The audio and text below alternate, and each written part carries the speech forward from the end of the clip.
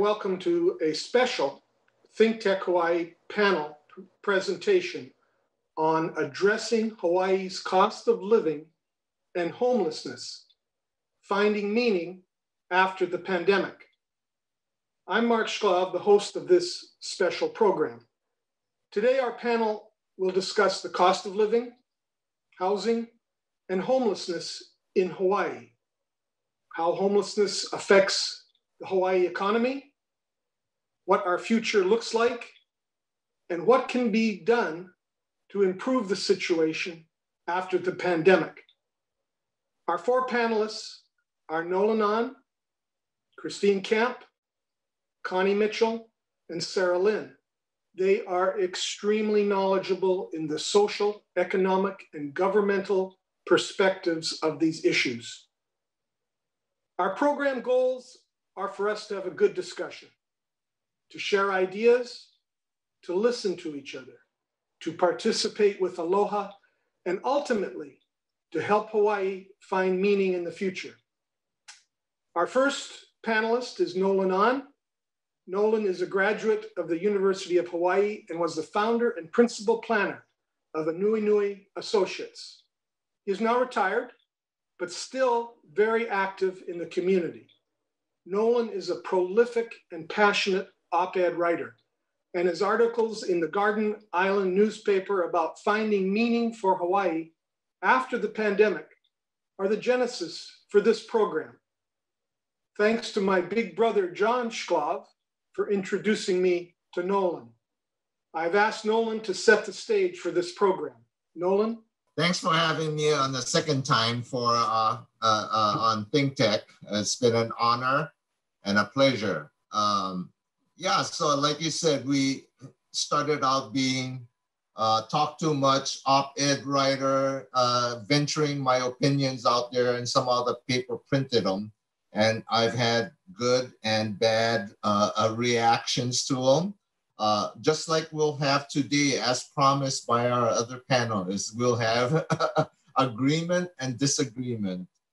Uh, so the finding meaning for Hawaii kind of started out, you know, when I was feeling really funky uh, in the early months of the pandemic, and you know, and saying, "What's going on? I don't usually feel like this," and uh, so um, I started reading more, as a lot of us uh, uh, during this downtime, and uh, I read this book uh, called Finding Meaning, the Sixth Stage of Grief by David Kessler, who collaborated with Elisabeth Kubler-Ross on, you know, the five stages of grief. That's a classic. And I kind of found that many of the feelings about having somebody die that you're close to uh, uh, was what I was feeling. And, you know, it was um, the denial, the anger, the bargaining, depression, and uh, not yet the, the, the, the, feeling of acceptance of what was going on. But Kessler uh, ventured forth that says there may be a sixth stage to grief that will allow you to heal after the loss. And that sixth stage was finding meaning in the life of the person that you have lost. Um, so uh, we went on from that, and you know, we ventured forth um, uh, opinions that says, how can we find meaning after the pandemic? Uh, and um, you know, he said maybe we can tackle the three biggest problems that Hawaii faces. And in my opinion, again, uh, um, those were uh, homelessness, affordable housing, and over tourism. Uh, and I ventured forth the idea that says, what if the solution to one would be able to fund the needs of the other two?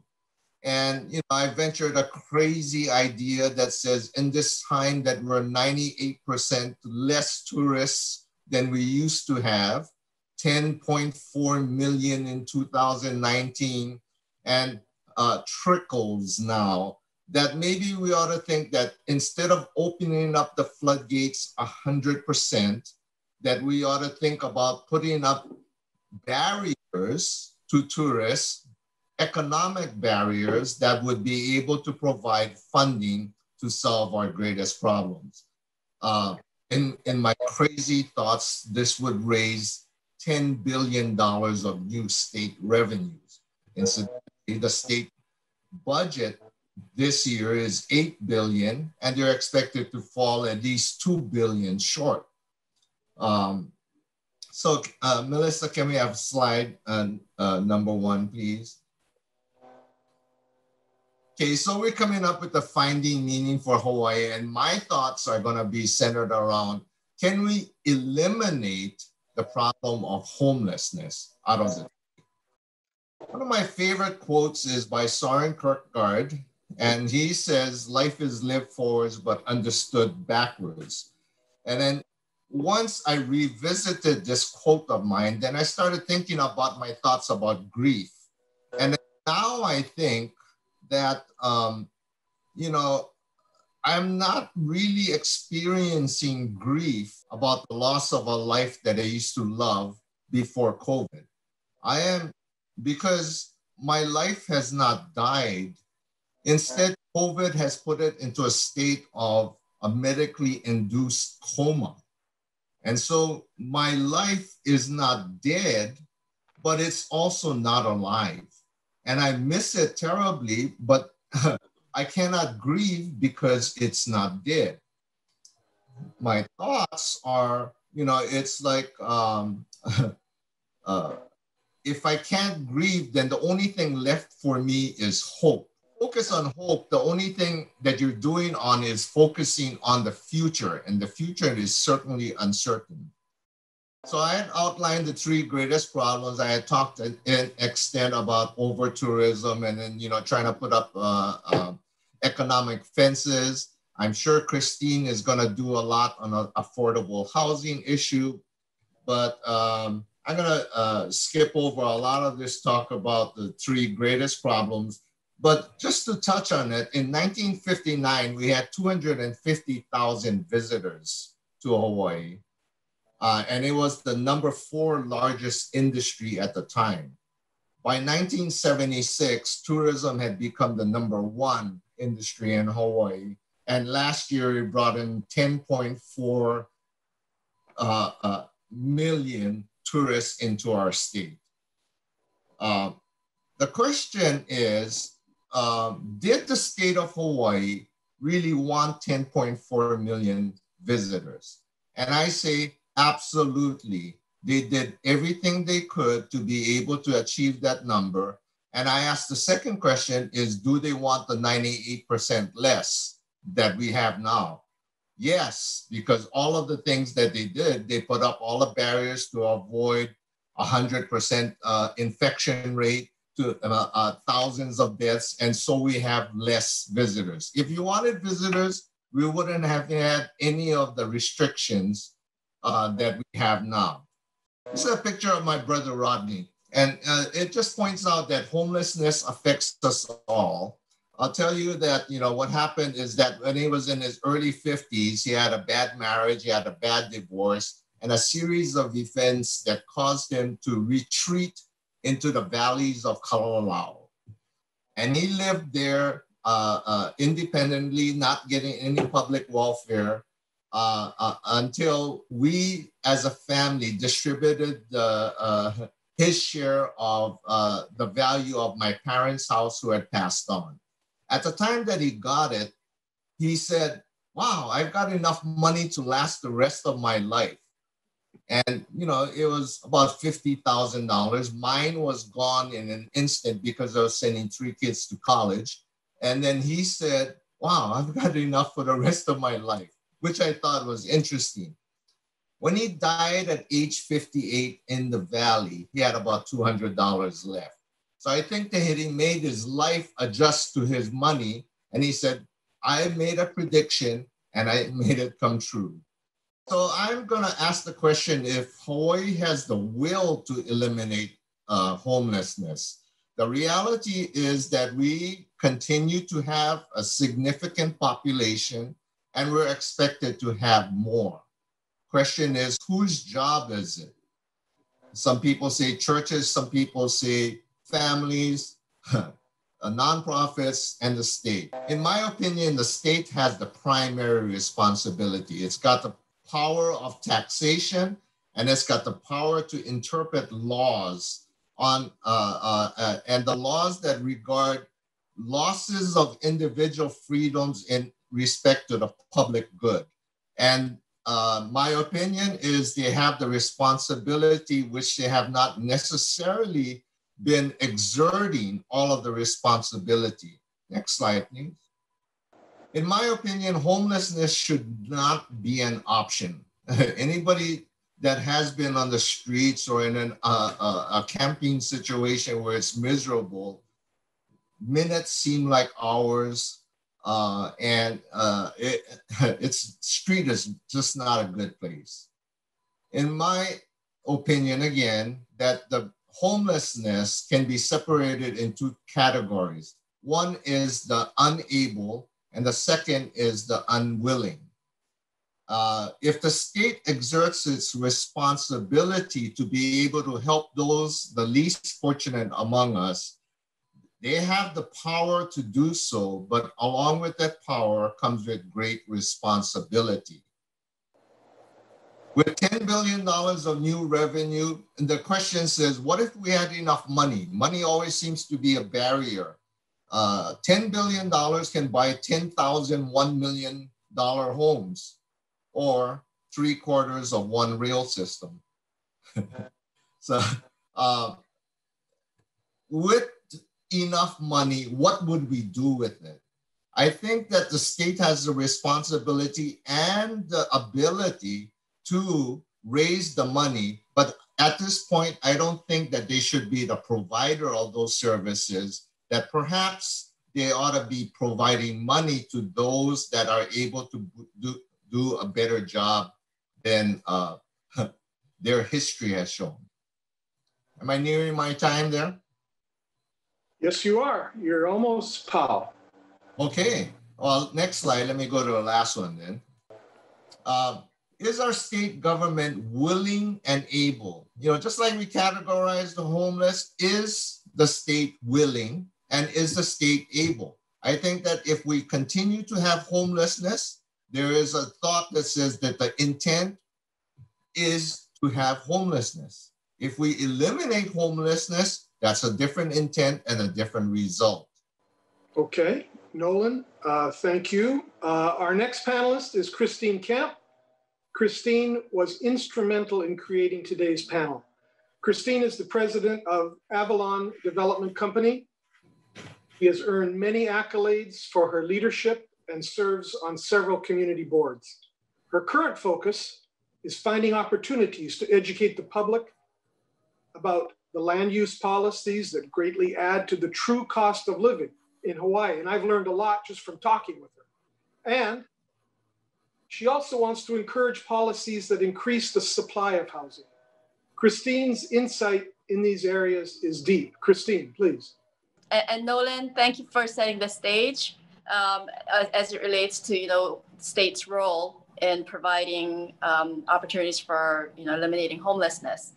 What I want to focus on is on the provider side and the issues related to um, you know supply of housing because we have issues related to homelessness and that can be related to mental illness and other situations that just providing housing alone can't solve but what i do want to talk about is from my perspective what we can do. And I know that um, we're all talking about all the negative impacts of the pandemic. And at this point, we're in the we're knee deep into the pandemic and we, we don't know where the bottom is going to be, but we have a lot of hope that next year it's going to get better. Um, tourism has just opened yesterday, and you know we, we hope that it will be smart tourism that's going to keep us safe while our economy starts to grow back again. But what I want to talk about is cost of housing, cost of uh, just living in Hawaii.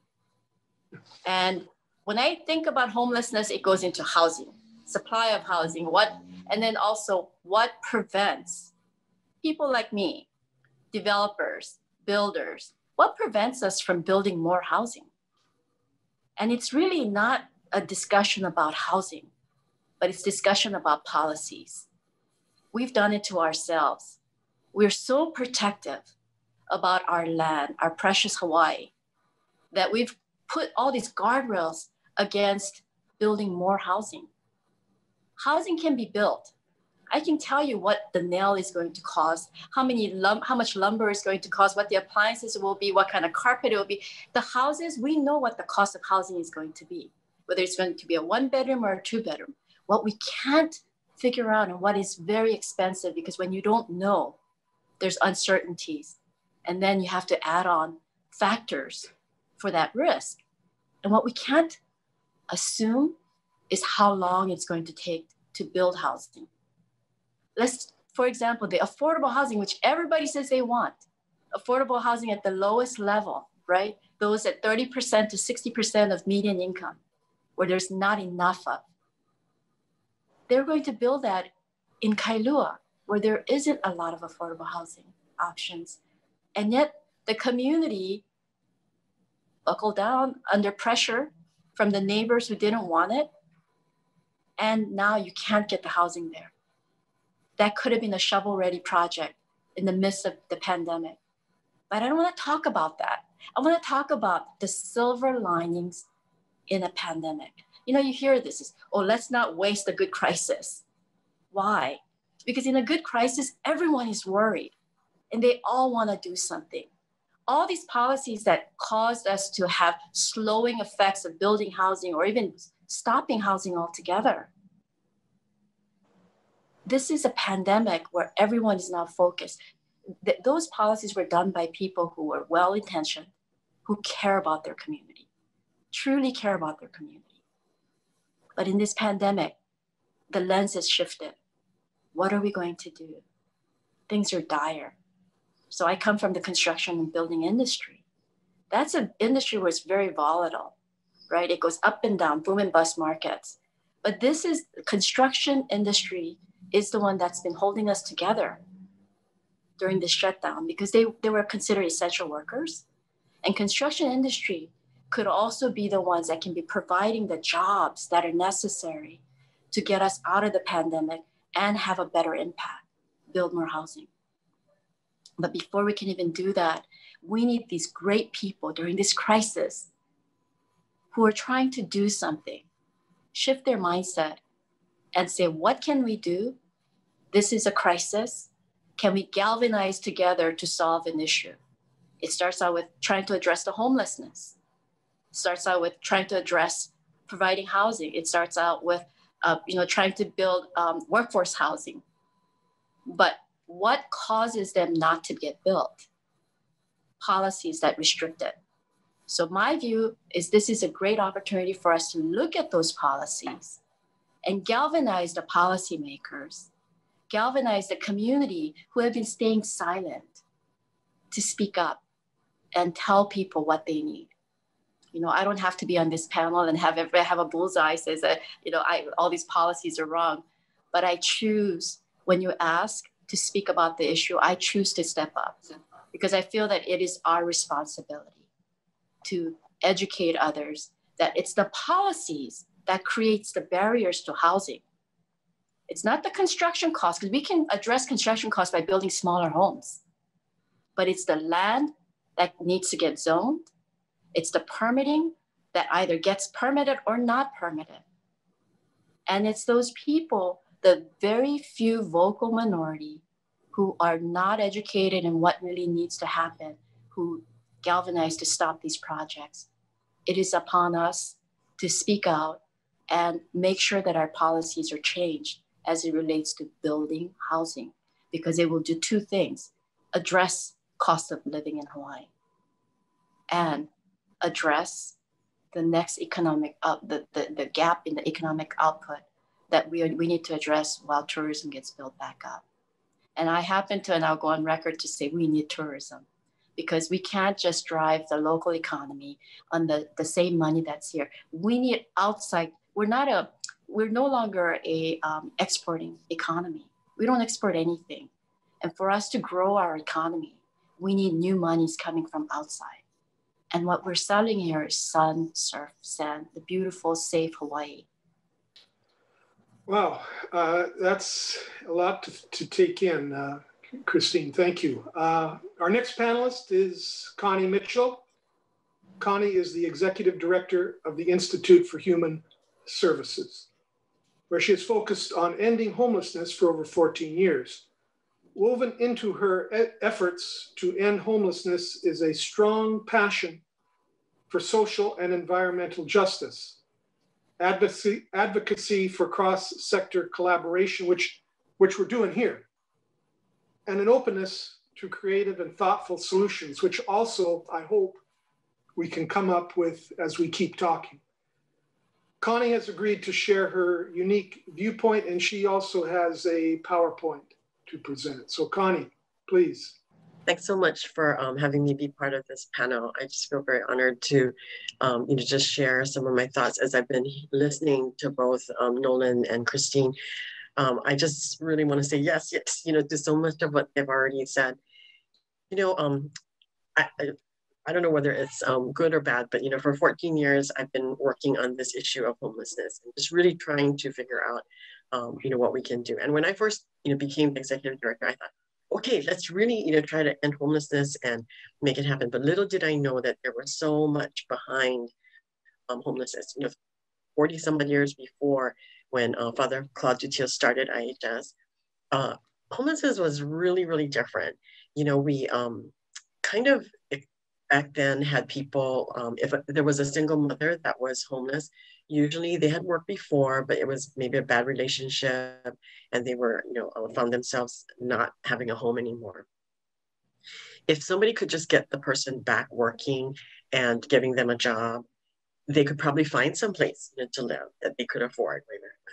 But today, um, there's just so many more people that I think if they're a single mom, some of them haven't ever worked at all. You know, and there's just that much more to overcome in some ways the mental health system back then was, you know, um, one that could still get people into treatment. You know, we had the state hospital. You know, we also had, um, you know, local hospitals that had psychiatric units that were much easier for us to get into. Not so much anymore. And um, you know, the other drugs that came into play back then was mostly alcohol, maybe um, even like maybe for cocaine, but marijuana. But today we have this methamphetamine um, addiction that has gone on and this epidemic that has gone on for so many years, it has just drained so much money out of our community. And it's just really a plague that we haven't really got um, our um, you know, hands around in such a way that we can really feel like we know what the answer is. There's treatment, but it's just not the same as some of these other substances that have come along. So, you know, I kind of uh, started my by thinking, well, what do I want to say? I think, you know, we're going to be in the process of rebuilding our community, and it's got to have a lot of community a part of it. Meaning, you know, next slide. You know, there's a lot that is about, um, you know, not just um, the people and the buildings, but it's really about whether we have a spirit of community, whether we care about each other. So this was just taken from um, the newspaper just a few days ago we have, you know, um, just so much of a problem here. Um, you know, the, the people that are delinquent on their rent, um, property owners, and I just say that 40% have lost jobs. I just heard this morning it was 80,000 people. 85% um, of um, the rent renters are um, behind on rent versus 95%, you know, before COVID. Our gross domestic product, you know, the amount of income to the state has dropped 42% in, you know, when they took that um, snapshot in time. And the visitor industry, you know, prior to COVID had so many people coming, just like, you know, what was described um, earlier. And now, you know, it's a, next slide, please. I think we have to recognize that this is a tsunami of sorts. You know, um, it's both, you know, a um, not just an economic one, but it's an existential one. I think. You know, we have to ask ourselves: how do we want to rebuild our community and what is going to be a part of it and what's not going to be a part of it anymore? You know um, as christine was mentioning there's so much need for housing. Pre-covid i'd say easy 30000 units are needed here. We have not really kept up because of the policies of the past you know to really continue building the housing that was needed. So we're just way far behind you know and the other piece that we're wrestling against is the unemployment that was less than 2% before covid and now we're one of the highest in the country. It's it's incumbent upon us to know that moving forward, all these people that are, you know, really um, housing insecure right now, they're going to need places to live. And um, we need even more so affordable housing after COVID. I don't even know when after COVID is going to be at this point. It seems like it's going to be a long time. Um, we need to retool our economy to create higher paying jobs. A lot of the people that you know I work with, many of them are working, but it's really hard, you know, to make ends meet when the housing costs are so much. If it, if it takes like 50% of your income, then there's or more in some cases, there's a lot um, um, deficit that individual households have to deal with. We have to give young people a reason to stay. I think a lot of people are deciding not to. They have much better opportunities elsewhere. This is an opportunity right now because COVID has leveled the playing field a little, bit, maybe, and maybe people want to stay closer to home. But you know, if there's opportunities elsewhere, we're you know people are going to. And then we're facing that government deficit that's humongous right now. That's why this slide I just thought it really um, captures for me what we're up against. When I um, think about community and what it means, like I said, it's not just the people, although that's a definition. I took this right out of the dictionary. Um, it's it's really us having um, a feeling of fellowship with other people, caring about each other. That to me has to be a part of the solution.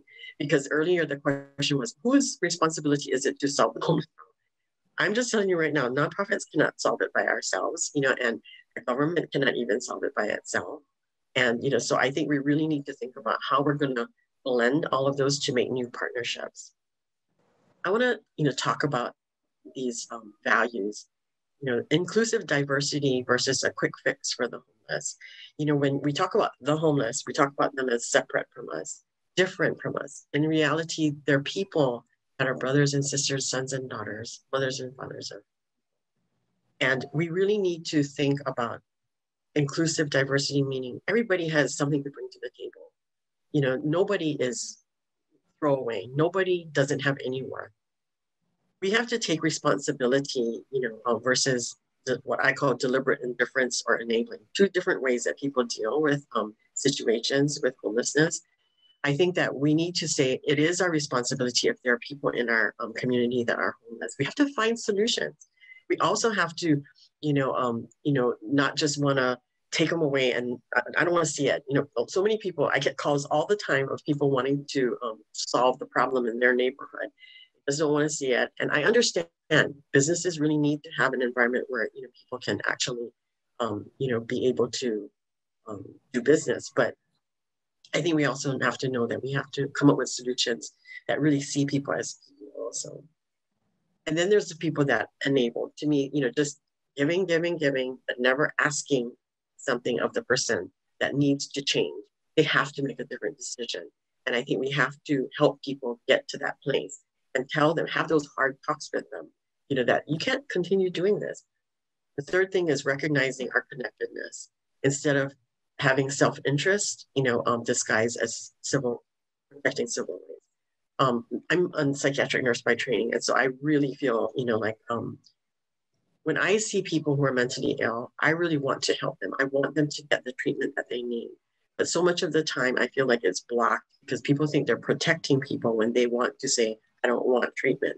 But in actuality, all they're doing is enabling them, you know, to just continue uh, to live a life that is really so uh, such a poor quality.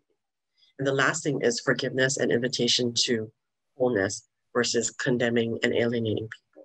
And I think that one I put up there because I think we need to think about how we want to deal with the folks who have offended, have been incarcerated, and if they come out and they're trying to, you know, reboot their lives to try to help them instead of just putting up barriers, you know, to them.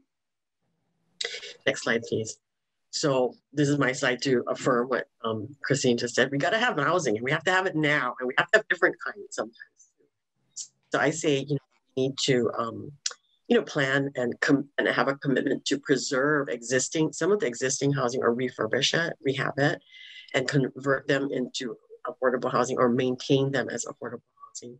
And I really want to affirm what Christine said about how every community has to have a plan. You cannot say, oh, build the affordable housing over there, another part of the island.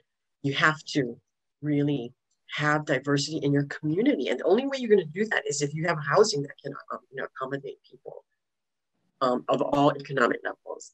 And then um, we need to think about other things. I have a couple of pictures here of just these tiny homes, you know, and uh, we also need to think about, um, you know, public assisted living. I happen to see a lot of older people who are becoming homeless, and I think we really need to think about how we're going to serve that particular population. Next slide, please. Well said. I think, you know, um, we need bold behavioral health strategies. And I just want to share three quick ones here. We need a campaign to treat um, methamphetamine and all these um, substances, mostly meth use. We have to have a way of aggressively dealing with that. Next one is about um, treatment and diagnosis of mental illness and really creating that as a um, venue. If they're going in for an emerg emergency evaluation, we should have the ability to treat them right away. And the last one is about court ordered treatment for people upon release from a psychiatric hospital. You know, we need to have a way to keep people on their medications, which we've lost. Right? The last one is, you know, about transforming, you know, our um, economy through technology. Everybody needs to be literate in technology. And, you know, people coming out of jail and prison, people who are you know recovering from homelessness i always feel like we got to get them using the computers almost every job now requires you to be able to use the computer and then, of course, for families, the children need access to internet and also, you know, the things that we, in order to do their education, the homeschooling. So that's all I have today. uh, well, thank you. That, that was quite a bit. And I appreciate that. That was good, good insight. And actually, you tied together a lot of things that uh, have just been said by Nolan and Christine. Our final panelist today is Sara Lin, and I, I told her she had a big advantage because she has heard what everybody says. Sara is Governor David Ige's lead policy advisor for housing. She's responsible for helping to drive the governor's affordable housing initiatives and serving as his liaison to the private sector, to nonprofits, government stakeholders in Hawaii's housing community. Sara can tell us the state's strategy on housing issues raised today. Sara, floor is yours. Thanks for having me here. And I really appreciate hearing um, everyone talk about, you know, the, the, different contributions, whether from, you know, a private citizen standpoint to, you know, an industry that is one of the few bright spots right now while things are closed, um, the construction industry. And also just really appreciated hearing, you know, Connie's very balanced and thoughtful uh, way to look at what is a not just a problem with a one shot solution, uh, which I think is very easy to often oversimplify. But wow, so many really interesting and compelling thoughts here, you know, whether it's Nolan talking about, you know, finding meaning and the silver lining in this, or um, in the same vein, uh, Christine asking for, you know, a look at policies and shifting of a mindset, you know, to really figure out, is this going to be the crisis that, that really makes us all pause? You know, and and just that one that one image you shared, uh, Connie, about an existential tsunami really struck with me as well. I think one thing to recognize, at least as it relates to rethinking our economy and, and tourism, is that um, it's such a large part of our of our economy. It's not necessarily going to go away, but I think the thing that we need to be cognizant about is that this is the opportunity to really be serious about diversification, and this is a topic um, that certainly ties into housing because you can't have um, you can't have more housing uh, or sorry you can't diversify your economy without you know all the resources to take care of them you know good schools good housing affordable housing um, but you also we need to find ways to raise incomes and and a, a purely service based economy um, is tough to do that with uh, I think that the thing that we're facing here is something similar to a lot of other places as well. This whole idea of over tourism. Um, the Hawaii Economic Association just had a conference about this and talked to some experts from, you know, Cornell's School of Hotel Management. And every place is looking at this as a reset, whether it's, you know, um, an island off of the coast of Spain or even New Zealand, kind of looking at what are some creative ways to not just look at you know the marketing of tourism is just purely pr marketing come to see us but it's for years and years tourism has not been run as you would run i guess a, um, a private business like it's been run where you take where the profits are taken out the profits aren't reinvested into the asset. And the asset here is our people our, our state our you know our cultural resources our environmental resources. So that's really an opportunity for us to kind of rethink how can we how can we reinvest what does come into the state after this back into the into the asset and continue to make it better. As for you know what we're trying to do for homelessness and affordable housing in general the, the governor from the beginning of his administration definitely recognized that affordable housing there just wasn't enough we needed more options and so he set a goal uh, when he first took office of trying to build 10,000 and complete 10,000 new units by 2020. And for a while, we were looking at that thinking, are we going to hit it? Are we going to hit it? And um, the governor put together a small stakeholder group of the most prolific developers and nonprofits and advocates to talk about some of these policies. What were the things that could be streamlined to help um, to help make projects go just a little bit faster? And I'm proud to report that that group came out with some really good recommendations over the years, um, whether it was just kind of speeding up approvals, you know, through uh, DCAB or, um, or if it was adding more, adding more funding to the rental housing revolving fund. Um, but those are things that, because we've been able to kind of look at those things over the last couple of years, I'm happy to report that we're going to actually exceed our 10,000 by 2020 goal. And I think we're going to be more closer to 12,000 completed by the end of this calendar year with more in the hopper, which is great. Uh, the tough part though is that I think Christine would agree that we've kind of got most of the low hanging fruit already. The difficult part now is that, you know, if we want to go vertical or build, you know, more densely in certain areas, we need to figure out the infrastructure for it. Infrastructure meaning how we're going to get the water there, how we're going to get the sewers to be big enough, um, you know, electrical infrastructure as well. And the difficulty, not to sound like a bureaucrat, is that we have to, you know, partner and work well with uh, with the city and county of Honolulu and the other counties on this as well, because it's it's got to be everybody kind of working together and um, figuring out what the timing of everything is. And so, and infrastructure also, you know, is can be very disruptive. It involves, you know, digging up uh, digging up roads and, and putting in new lines. So that's kind of the next major obstacle is figuring out now that we've done the low hanging fruit, how do we prioritize certain areas uh, to have the greatest bang for our buck?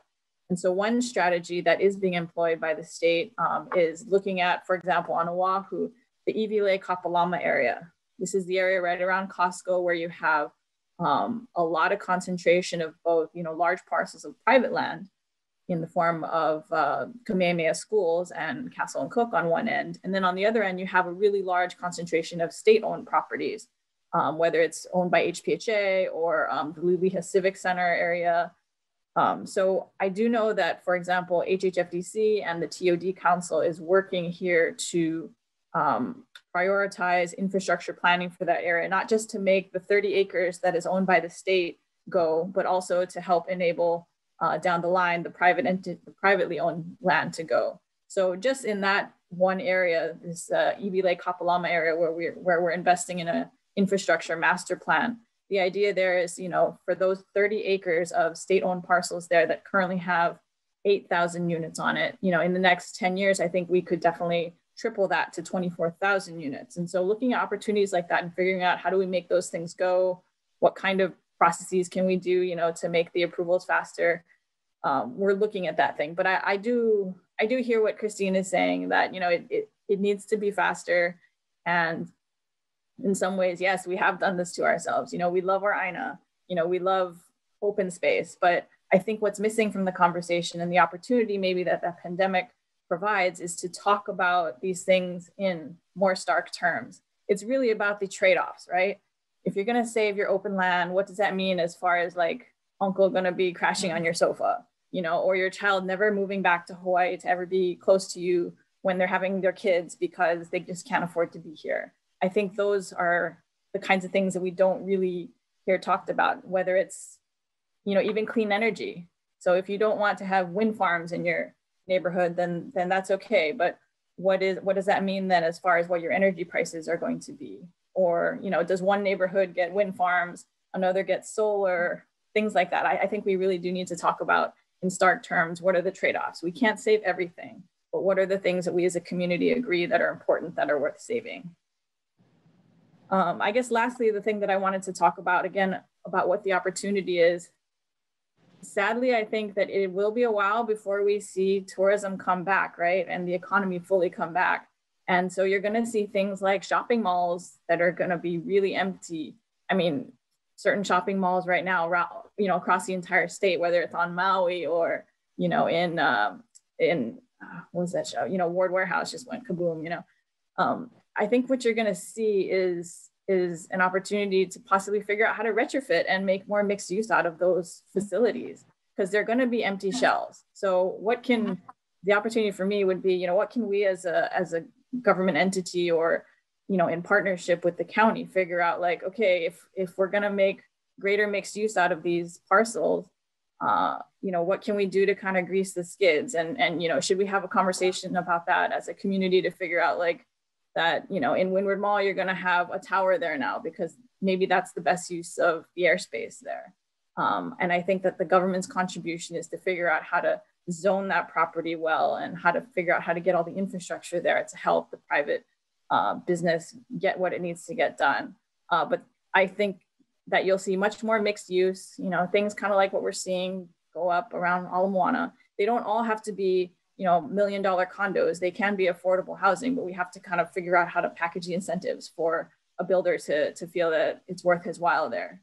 Um, so that's kind of my take on things. You know, I do think that we are, as a state, trying to do and contribute uh, during the pandemic as we can. Uh, we do have the rent relief program um, that we stood up with CARES money, $100 million to help with back rent and future rent um, up until the end of the year. We're pushing really hard to get that money out um, right now. And, and, we've received like overwhelming number of applications. I think 20,000 applications for a program that really is only meant to to, to help 10,000 families.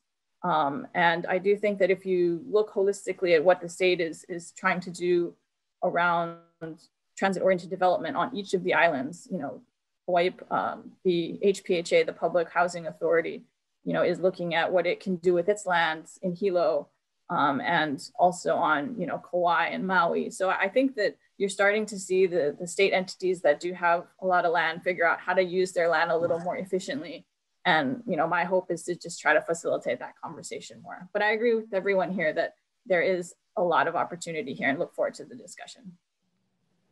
Well said. Well, thank you. Thank you, Sara. I appreciate uh, your point of view. And I, it's funny, what I, I've heard from all of you something similar.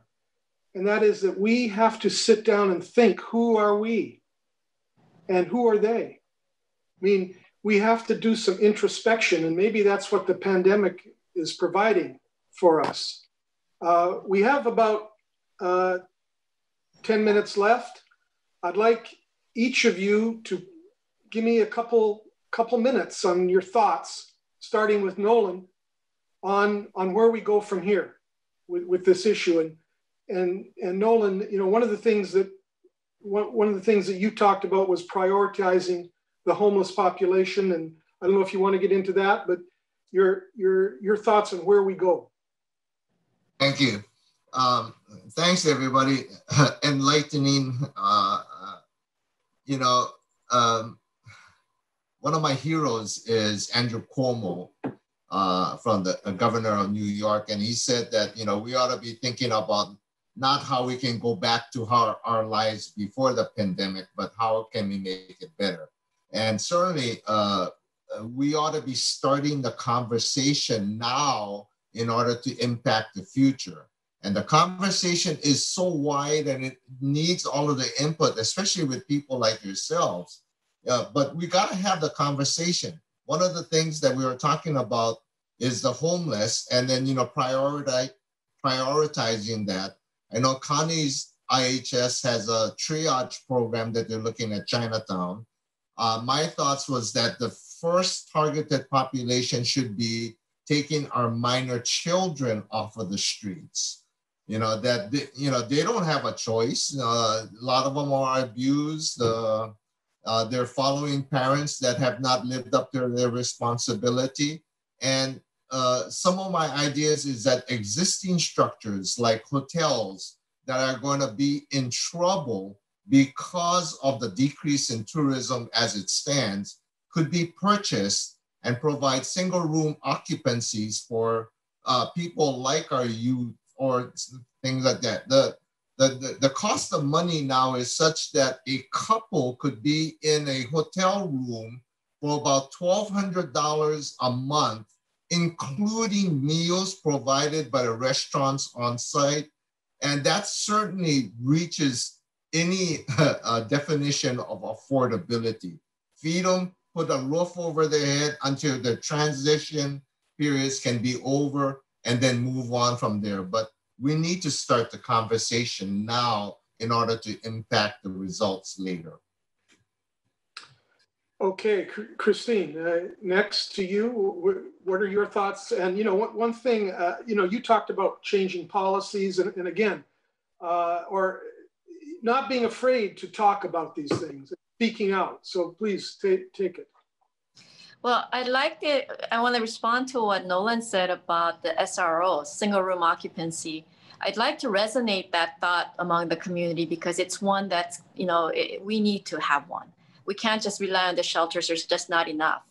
Um, the idea, however, of having resorts or, or you know, hotels in tourist district filled with SROs with mental health problems um, and people who uh, you know are they're, they're not going to make the best space for Hawaii. And so I'm not sure if I can support the hotel use, but I, I do support the idea of SROs. And I think that that's a room where government can intervene we can build it we can bring some nonprofit to be the, the sponsor of it where government funds can be leveraged with community funds to build sros and i absolutely believe that will help our economy. You, you know we manage about 2 million square feet of commercial space and about a thousand units. You don't know how much we spend on the and, and pass on to our businesses for security and cleanup after the homeless people. If you can add all of that up, I'm sure businesses will pay a, a, a tax to house these homeless people away from their front door and, and their properties. And so it's one of those things where I think the pandemic should create um, a superpower by the government to say, we are going to build an SRO here. I hope it's not in the tourism area. I hope it's in areas where there will be mental health services and drug treatment services maybe it's coupled with that. The idea is that the time has come where we need to make hard choices. There's been enough discussion, enough studies. Time is short now. This is a pandemic where we can say there's a sense of urgency and we no longer can just wait for the low hanging fruits, which Sara has done an amazing job for the governor. If there's an effective area within the governor's administration, it's been Sara Lin and Denise Matsubara and what they've been able to accomplish for building housing. But it's not enough and it's not going fast enough. Yeah, thank you, Christine. And also, you know, you you talked about uh, the economy uh, and homelessness and how helping homelessness can help the economy. And they're not they're not two separate items. They're they're they're linked, and but we have to recognize that. And maybe we don't recognize it. Uh, maybe we put a distinction. And and Connie, uh, you know, what what are your thoughts? Uh, I mean, you deal with this every day, and uh, you deal with perceptions, and uh, you know, who are they? Who are we? Type type of thoughts. So, what, what are your thoughts about the future after the pandemic? I like the idea. I really love the idea of you know doing more SROs, you know, across the island in different places. And I think there also is a place for it in Waikiki. Maybe not for the folks who are, you know, needing treatment, but there are a lot of people who need an SRO because they're construction workers, you know, they're, um, you know, other uh, workers in Waikiki. It just puts them closer so they can even walk to work maybe. Short of that, I really need for people to focus on providing treatment. We can save so much money. We can save the state so much money, um, you know, if we could get people back to work people who have the chance to actually recover, you know, and really become contributing citizens, and they are, there. And I also believe very strongly that a lot of our folks who are low-level offenders, you know, um, who are being released, you know, um, from um, public safety, they have an opportunity. If given the opportunity, they would choose, you know, to work. They just go back to the street and criminal behavior because there is nothing for them. We have to make the pathway to being a contributing citizen a lot easier for people so that they can choose that. I think we put up way too many barriers. But I love what you have said. Christine. Can I can I ask you a question, Mark? Yeah. Sorry. Um, I you know the, a lot of homeless people are homeless because they the landlords will not accept them because landlords you know, can't accept pedophiles or they can't accept um, ex-convicts or whatever it may be. I mean, they, they just put these barriers because they want to keep it safe for the residents. But they need to be employable and they become homeless and they, be, they go back to crime. So I'm hoping that there will be programs for people. I'm looking for those low level criminals. Maybe there's an amnesty for them. Wipe the slate clean so they don't have a record just because they were, you know, they had a misdemeanor. That they shouldn't allow that to be a permanent record. It should so sort of like bad credit. It should wipe away in five years or something so that they can start all over. Because right now you have a record, you can't get a job. You can't get a home. I mean, these, these are the factors in causing homelessness for a lot of people. Yeah, uh, Connie, uh, thank you. Uh, Christine, thank you uh, for the questions. Now, Sara, you, you'll be happy to know that not everybody says this is the total responsibility of the government. It, sounds like the, everybody that's talked today said, talked about the community, and individuals and basically internal philosophies. But where, where are you for the future with the government after the pandemic with homelessness? So, you know, as a Keiki Kaina, who born and raised here, you know, went away and worked on the mainland, educated on the mainland for college, and then came back. I'm I'm a long hauler. I'm a lifer here. You know, I'm I'm here despite the you know the cost and the price of paradise. You know, thank goodness I have you know a parental support network, you know, to help babysit kids once in a while kind of thing. But suffice to say that, you know, I, I do come in part in my background from the private sector. And then I came into government because I wanted to kind of walk the talk. I was a journalist before um, and a co-founder of Civil Beat, you know, before coming to government.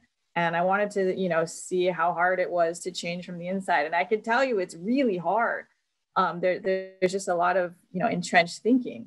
Uh, but at the same time, I government is such a part of life and big here and and is you know through regulation or through you know things that that were started with well intentions you know like government here needs needs to be a part of the solution because they are currently part of the problem sometimes um, I, I do think that you know just more transparency more conversations. It's really in the messaging how you talk about it how you bring the community together and how you i think we need to just change how we talk about things. It can't just be all nostalgia for the past. It's got to be like what's the path forward? You know what is going to be the compromise? Everybody going to be a little unhappy sorry to say. But you know this is the way that we all hui forward and come together and say well what are the trade-offs you know i'm happy to save this vista for you or this open space or you know not put this solar project in your backyard or not put this affordable housing there. But then you know what is the other sacrifice or contribution that you can make to our society? And i think that that's a tough conversation but you know it's got to be had and, and government needs to be part of it because we're, we're both part of the enabling solution with funding and and and you know permits and things and approvals but you know we also have to kind of get out of the way a little bit sometimes yeah you know um, i think all the cards are on the table i think uh, we've we've thrown them out there and people have you know, people have to listen. Uh, you folks have spoken, uh, and we have to continue this discussion. Uh, I'd like to thank our panelists today, Nolan Ahn, Christine Camp, Connie Mitchell, and Sara Lin. They represent the greatest assets of Hawaii.